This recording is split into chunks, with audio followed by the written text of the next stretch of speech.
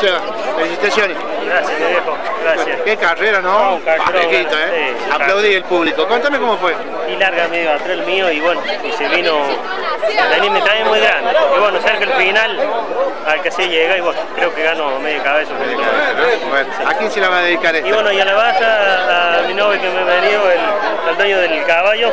¿A quién se la va a dedicar Y esta? a toda mi familia, a mi hijo Enzo, A Lenzo, eh, Octavio y Maxi, y a mi mujer. Bueno, felicitaciones. Saludos para todos los que no vinieron.